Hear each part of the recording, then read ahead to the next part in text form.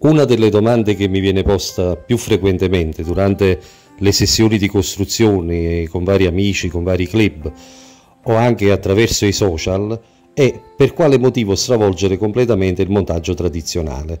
Intendendo per montaggio tradizionale il montaggio di quelle classiche mosche, mi riferisco qui, vediamo l'immagine di una Royal, ma i montaggi Devo, tanti, tanti, tanti montaggi classici standardizzati con delle ricette ben precise, fino agli inizi del secolo scorso, ma anche eh, fino a 30-40 anni fa, erano disponibili dei, dei, dei, veri e propri manuali da costruzione nelle quali erano riportate minuziosamente le ricette con colori, materiali da utilizzare e quant'altro. Bene, mh, mm, possono esistere varie motivazioni per cui si possa sentire la necessità di trasformare una Royal in una mosca come quella che state vedendo adesso. Eh, in pratica è, è, lo stravolgimento totale di ciò che verosimilmente voleva essere l'imitazione di un ec di onuride, no? Eh, quindi per quale motivo passare da quel modello classico a questo tipo di costruzione? Beh, io direi che le esigenze che un moderno pescatore a Mosca ha sono differenti da quelle che avevano 40 o 50 anni fa i nostri predecessori. Innanzitutto parliamo di selettività di pesce.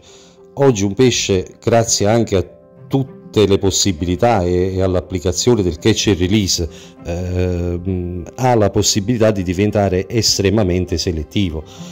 Eh, noterete quindi certamente le differenze esistenti tra un montaggio tradizionale e un montaggio mm, nuovo soprattutto dal punto di vista del pesce. Eh, il punto di vista del pesce è quello che il pesce vede da sotto l'acqua, quindi da una prospettiva che è totalmente diversa dalla nostra.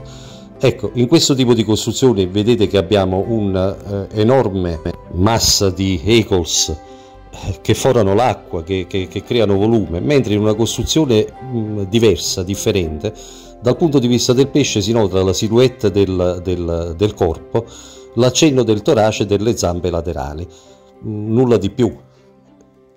Tra l'altro l'utilizzo di materiali nuovi, eh, o quantomeno eh, attualmente disponibili, eh, mi riferisco sempre ai materiali naturali perché io sono un convinto utilizzatore di materiali naturali, eh, fanno sì che non sia compromessa assolutamente la galleggiabilità del nostro artificiale utilizza, non utilizzando le tradizionali ECOLS.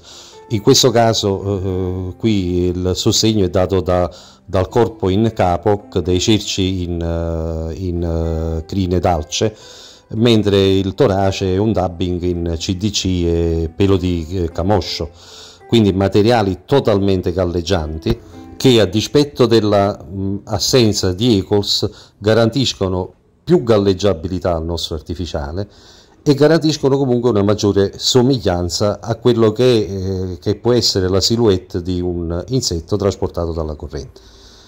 Eh, a seguito vedremo altri esempi di differenze tra una uh, costruzione secondo metodiche classiche.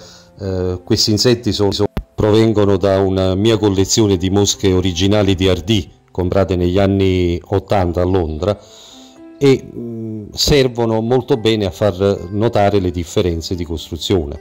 Uh, si alterneranno quindi queste mh, mm, immagini di mosche tradizionali, tra virgolette, e mosche secondo il mio concetto.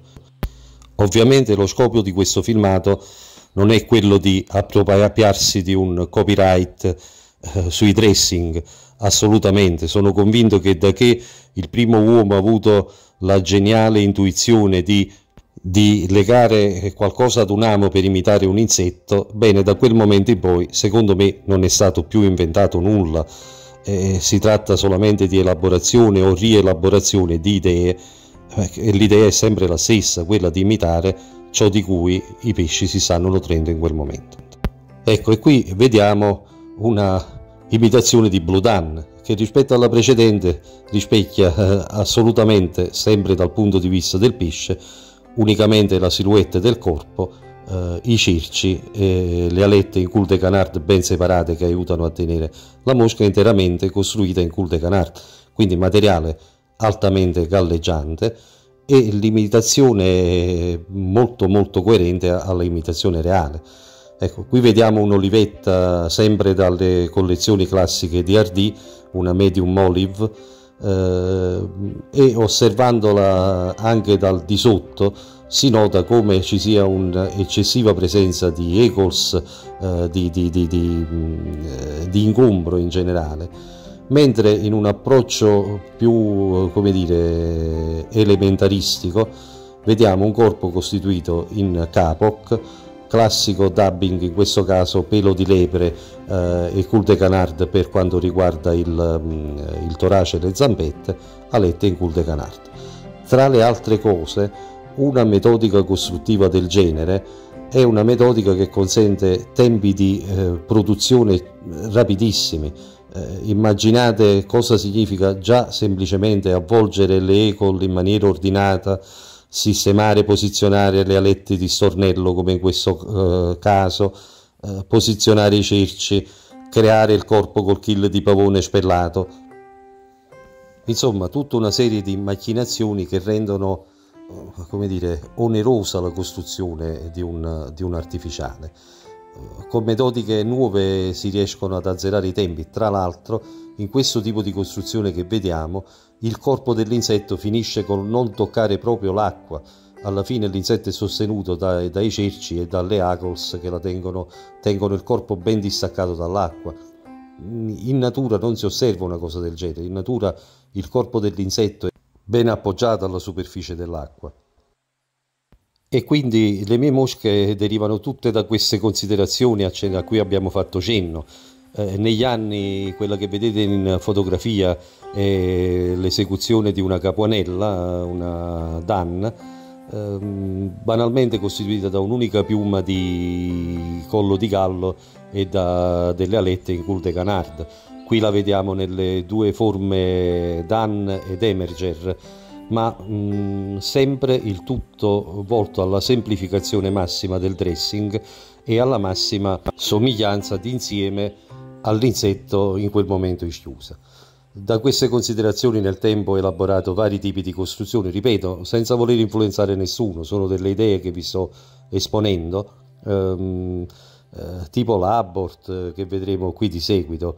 Eh, L'Abort, eh, eccola, nasce come idea di ehm, imitazione eh, di quelle eh, effimere in emergenza che molto spesso eh, hanno difficoltà nel liberarsi della propria esuvia, eh, cosa che le rende particolarmente appetibili, in quanto ogni predatore tende eh, a predare, a catturare l'animale, l'insetto più in difficoltà. Questa è la massima difficoltà che ha un'effimera nel liberarsi in prossimità del, della superficie dell'acqua della propria esuvia e poter finalmente escludere le ali e, e permettere così eh, di, di mh, potersi permettere così di potersi involare. Ecco, questa è un'immagine che sono riuscito a mh, catturare in internet proprio per verificare, per identificare questo particolare stadio. L'imitazione che ne consegue è, questa, l'abort, che è somigliantissimo.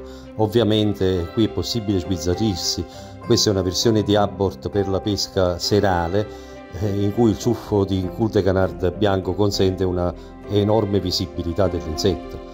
In sintesi ho voluto brevemente, ma sarebbe necessario molto più tempo, esporre quali sono le mie idee in merito alla, alla costruzione e eh, perché pratico questo stravolgimento totale dei classici dressing. Eh, spero di essere stato sufficientemente chiaro, per qualunque ulteriore dettaglio o spiegazione o chiarimento eh, o anche perché no polemica potete contattarmi liberamente eh, e su questo canale YouTube troverete molti dei dressing che ho realizzato nel tempo e che pian piano completerò con altri, con altri filmati ehm, sperando di dare il mio piccolo contributo a delle nuove idee. Grazie.